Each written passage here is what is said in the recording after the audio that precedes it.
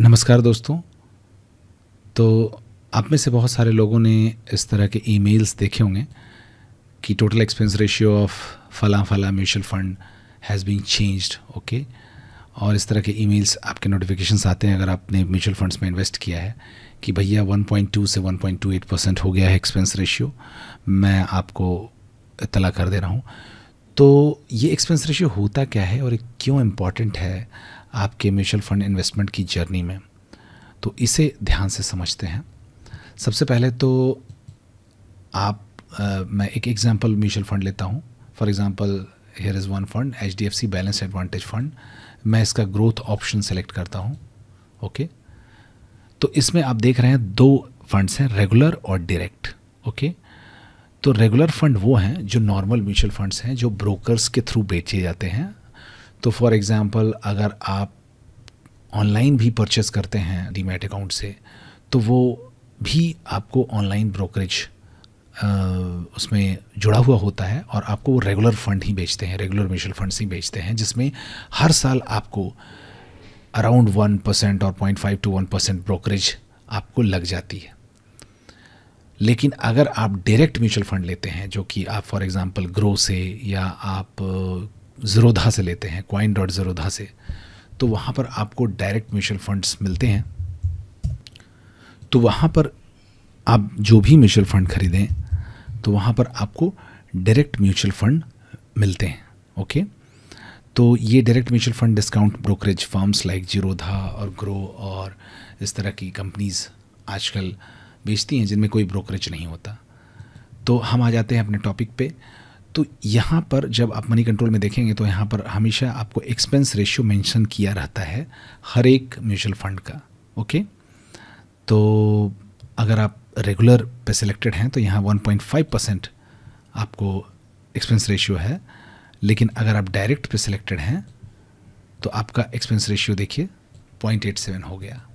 यानी लगभग 0.7 परसेंट आपका फ़ायदा है।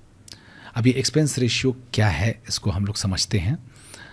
तो अगर फ़र्ज़ कीजिए, अगर आपने सौ रुपये किसी म्यूचुअल फंड हाउस को दिए, साल भर में रिटर्न हुआ दस परसेंट तो उस म्यूचुअल फंड को ये बताना है आपको कि आपका टोटल वैल्यू हो गया है आपके पैसे का हंड्रेड एंड टेन लेकिन उस म्यूचुअल फंड हाउस को अपनी अपने ऑफ़िस चलाने के लिए, अपने स्टाफ्स को सैलरी देने के लिए, अपने म्यूचुअल फंड को एडवर्टाइज करने के लिए, इस तरह के खर्चों के लिए भी कुछ प्रोविज़न रखना होता है। इसे ही एक्सपेंस को एक्सपेंस रेशियो कहा जाता है और हर एक म्यूचुअल फंड के केस में ये अलग अलग होता है।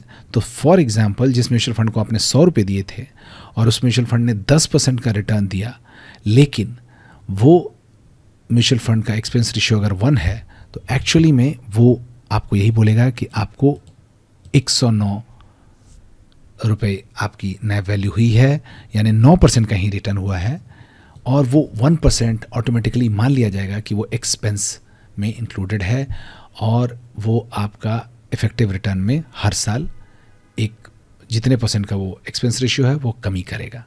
यानी अगर म्यूचुअल फंड हमें चौदह परसेंट का रिटर्न दे रहा होता है, लेकिन अगर उसका एक्सपेंस रेशियो दो है तो वो एक्चुअली में हमें बारह परसेंट का ही रिटर्न देगा ओके और हमेशा मेंशन कर देगा कि हमारा एक्सपेंस रेशियो दो परसेंट का है। तो ज़ाहिर सी बात है कि अगर हम एक्सपेंस रेशियो कम एक्सपेंस रेशियो वाले म्यूचुअल फंड्स खरीदें तो हमें बहुत फ़ायदा है। तो कम एक्सपेंस रेशियो वाले म्यूचुअल फंड हम कैसे खरीद सकते हैं? पहली बात, हमें रेगुलर नहीं डायरेक्ट म्यूचुअल फंड्स खरीदने हैं। तो डायरेक्ट म्यूचुअल फंड्स कैसे खरीद सकते हैं? दो तरीके हैं। या तो आप फंड हाउस से डायरेक्ट खरीदें, जैसे एचडीएफसी का म्यूचुअल फंड खरीदना है तो आप एचडीएफसी म्यूचुअल फंड की वेबसाइट पर जाकर खरीदें एक्सिस म्यूचुअल फंड की वेबसाइट पर जाकर एक्सिस के म्यूचुअल फंड्स खरीदें, और या तो आप डिस्काउंट ब्रोकर फर्म जैसे जीरोधा या ग्रो जैसे जो वेबसाइट्स हैं, वहाँ से आप डायरेक्ट म्यूचुअल फंड खरीद सकते हैं। ओके जो आपको रेगुलर नहीं डायरेक्ट म्यूचुअल फंड्स बेचते हैं। तो पहला तरीका तो ये हो गया। आप देखिए जब आ, मैं रेगुलर कर रहा हूँ तो इस I C I C F M C G fund का expense ratio two point two seven है और जब मैं डायरेक्ट कर रहा हूँ तो I C I C I Prudential F M C G fund का एक्सपेंस रेशियो काफ़ी कम हो जा रहा है। देखिए वन पॉइंट फोर फाइव यानी लगभग वन परसेंट आप बोलेंगे एक परसेंट की ही तो बात है क्या फ़र्क पड़ता है? लेकिन आपको मैं एक एग्जांपल से समझाता हूँ।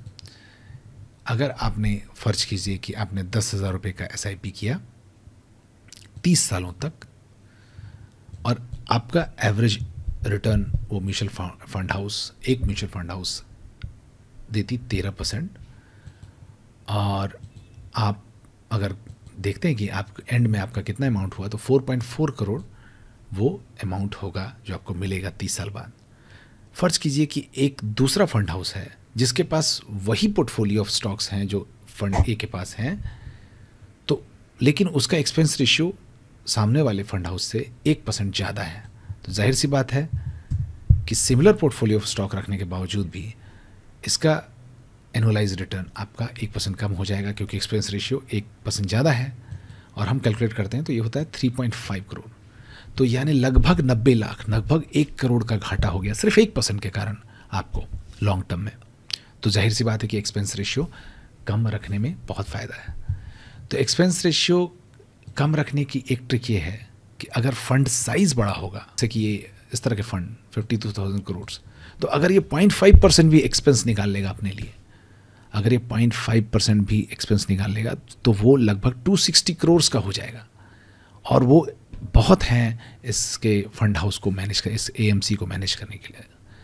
सॉरी uh, इस म्यूचुअल uh, फंड को मैनेज करने के लिए फंड मैनेजर्स को सैलरी देने के लिए एडवर्टाइज करने के लिए फलाना ढिमकाना काम के लिए। तो इसलिए हमेशा ट्राई करें कि फ़ंड साइज़ बहुत बड़ा हो और हमेशा मैं डायरेक्ट म्यूचुअल फंड्स खरीदूँ ना कि रेगुलर म्यूचुअल फंड्स खरीदूँ। रेगुलर म्यूचुअल फंड और डायरेक्ट म्यूचुअल फंड पर मैं एक और वीडियो बनाऊँगा। नाउ अब एक और चीज़ है अगर आप और भी कम एक्सपेंस रेशियो चाहते हैं तो आप इंडेक्स फंड में निवेश कर सकते हैं। जैसे मैं कोई भी Nifty fifty fund let say H D F C Nifty fifty या कोई भी इंडेक्स फंड इंडेक्स फंड वो फंड होते हैं जिनमें शायद इसकी बताने की खास ज़रूरत नहीं है, जिन, जो निफ्टी फिफ्टी में निवेश करते हैं और जिनमें प्री फिक्स्ड होता है कि भाई निफ्टी में जितने स्टॉक्स हैं वो सब इसमें इसमें इन्वेस्टेड हैं और अगर कोई निफ्टी फिफ्टी में जो ख़राब स्टॉक है, जो अच्छा परफॉर्म नहीं कर रहा, वो निफ्टी फिफ्टी से अपने आप निकल जाएगा और जो अच्छा स्टॉक है जो निफ्टी फिफ्टी में आ गया है, जो इंडिया के टॉप फिफ्टी कंपनीज़ में आ गया वो आ जाएगा। तो ये ऑटोमेटिकली मैनेज्ड फंड है, जिसमें करप्शन के चांसेस कम हैं। ये नहीं कि कोई फंड मैनेजर किसी आदमी से मिल के कोई डील कर ले, या किसी सीईओ से मिल के या किसी मैनेजिंग डायरेक्टर से मिल के कि भाई मैं तुम्हारी कंपनी में इन्वेस्ट कर देता हूँ, भले ही तुम्हारी कंपनी का प्रोस्पेक्ट अच्छा नहीं है तो मुझे साइड से इतने पैसे दे देना। इस तरह के करप्शन के चांसेस बहुत कम हैं। तो इंडेक्स फंड लेकिन हाँ ये है कि इंडिया में इंडेक्स फंड उतना अच्छा परफॉर्म नहीं करते एज़ कंपेयर टू कुछ कुछ रेगुलर फंड्स बट ये हमेशा आपको एक अच्छा रिटर्न दे देते हैं। तो इंडेक्स फंड के एक्सपेंस रेशियोज हमेशा कम होते हैं। ये तो रेगुलर का पॉइंट फोर है।